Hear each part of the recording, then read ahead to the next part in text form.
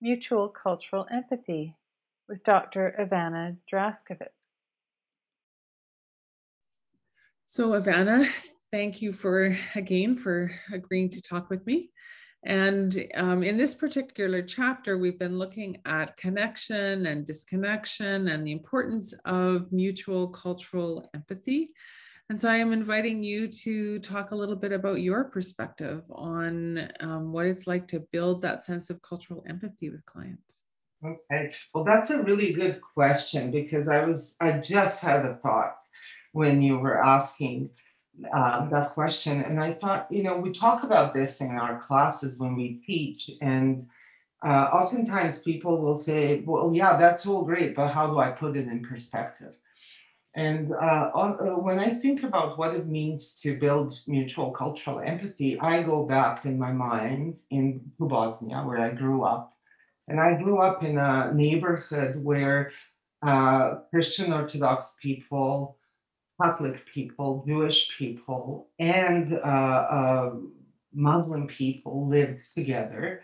Um, those little neighborhoods were called mahallas, and mahala uh, means almost, I don't know the exact translation of the word, but we often talk about these small communities where people talk to each other, support each other, know each other, uh, and respect each other's differences. So I grew up celebrating all of the holidays. Mm. Christian Orthodox Christmas, Easter, saints, you know, Catholic Easter, uh, Ramadan, all of that. And um, I've never witnessed, um, I witnessed conflict, but I've never witnessed disrespect for for each other's experiences.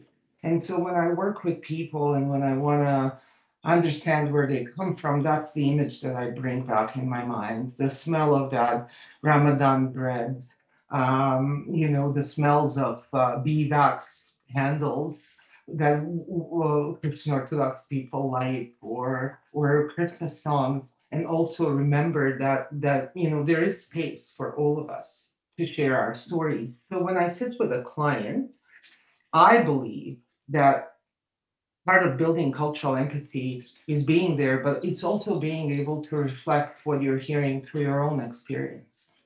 We are bombarded with these stories about, oh, reflect meaning, reflect feeling. I mean, we we mark that uh, those skills in our skills classes, but rarely do we ever really kind of mark uh, the human parts of ourselves. And so my habit is that if client shares something um, from their cultural lived experience that fits with mine and that I've experienced or it's similar to mine, uh, my habit is to blur that out back to them and say, hey, you know, um, that's very similar to what we do in our culture, and this is what we do, and that's how we build this conversation. And with that, we build relationship. Because oftentimes, uh, in subsequent sessions, people will come and say, like you said last time, what you do, we do that, but um, you know, it's a little bit different. And so there's a culture of sharing in, in sessions that's much more important than just delivering an intervention. So uh, I think the most important thing that I've learned from myself working as a counselor in my research with refugee women is that we need to be ourselves. We need to be able to build a relationship on a human level. And yet, building therapeutic relationship with self-disclosure has been and humor because I, I'm quite bold in my jokes has been two things that I have been reprimanded on ever since I entered the counseling world. I have never not been given a talk about my humor, and I have never not been given a talk about my self-disclosure. Um, and it comes from a place of not knowing in the Western world. It comes from a place of, you know, not understanding why self-disclosure is so important, why um, reflecting to your client that you're a cultural being too allows them and opens up space for them to be who they are rather than hold back. Um, and it takes me back, like when I say that, opening up, I use that a lot, opening up space, um, leaning into the difference, leaning into your own culturalness. and leaning into the client's cultural or I don't know if that's the word. I tend to make them up.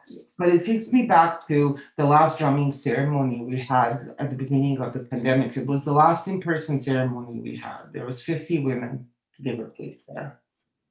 And uh, the habit and the custom is that when we before we drum, we we socialize and we eat something and we all make something. So I made the bean stew, and my friend Randy made the beef stew, and there was some other foods there. And I remember all of us sitting, women from everywhere, Korean women, women, Bosnian women, you know, Canadian women, Indigenous women from all parts of Canada, and we are commenting on this too.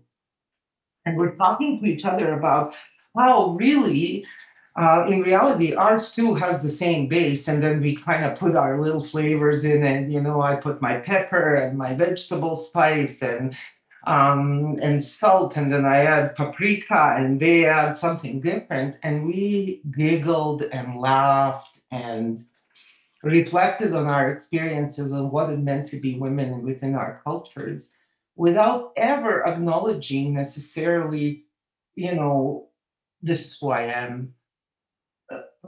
In, in, in those black and white terms, we were just sharing, and so that's where what I think multi, uh, mutual cultural empathy is. So sharing with each other, um, knowing where we are similar and when we are different, and we talk about lots about cultural diversity, and diversity does not mean difference necessarily. It means that we are diverse, um, but that we share so much more. That we share the love of land, we share the same herbs that our grandmas picked, you know, similar stories and whatnot. And so for me, that's the piece that's really important. And when I when I think about um, like we talked about in the past about connection and disconnection. And I think when we use therapy skills in prescribed manner without bringing our own lived experience into the world, into that into, into that relationship, we're we're not doing what we supposed to do. We, we're coming then from perspective of privilege, power, this this already created way of how you need to treat people. For me, it's important that that person feels welcome. Um, I remember reading a chapter. I know you're familiar that um, Carol Sinclair and Susie Bazan and I did that edited book on ethics. And I remember reading uh, um, chapter where he calls his um, client guests and he offers them tea and he sits down with them and, and- or coffee and he talks with them.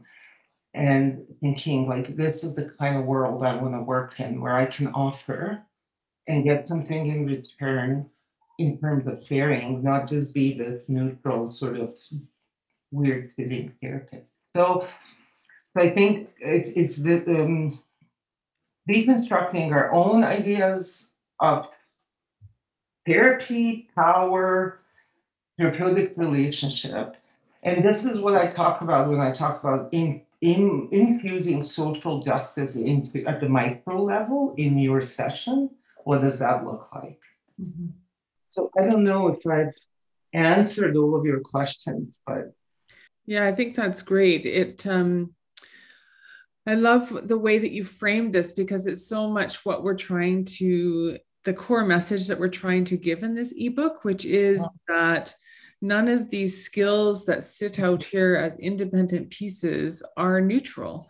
Um, they, and how we use them is the thing that's important. And what we're trying to do in this ebook is to say that everything we do is in service of the relationship.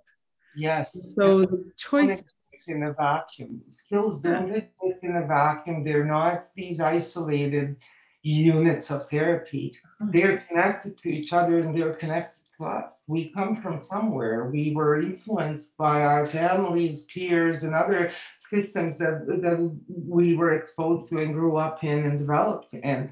And I find that when we are too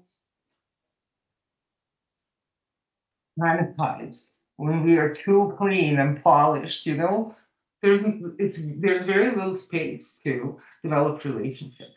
Mhm. I challenge that daily because I don't like being dressed in in business manner. I don't like being uncomfortable. I don't like sitting in a particular way. You know, like I like to be me. Mhm. And anytime I was not me, I had a therapeutic rupture. Hmm.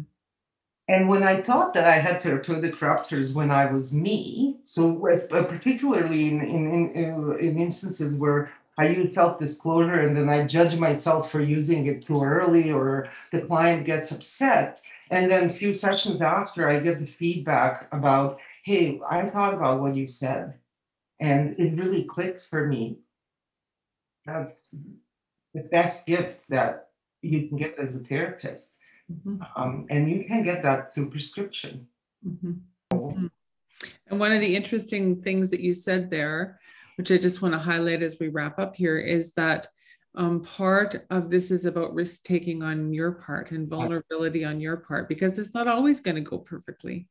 But Yes. you have built a foundation of relationship with the people you're working with where you can say, oh, that didn't actually go that well. So, how do we process that? And how do we come back? to be broken as a therapist and come back to that room and say, help me understand what happened. How can I be more present, more effective Mhm. in, in this relationship with you? Not in my work, in this relationship with you, because that's what matters. Thank you. That's lovely.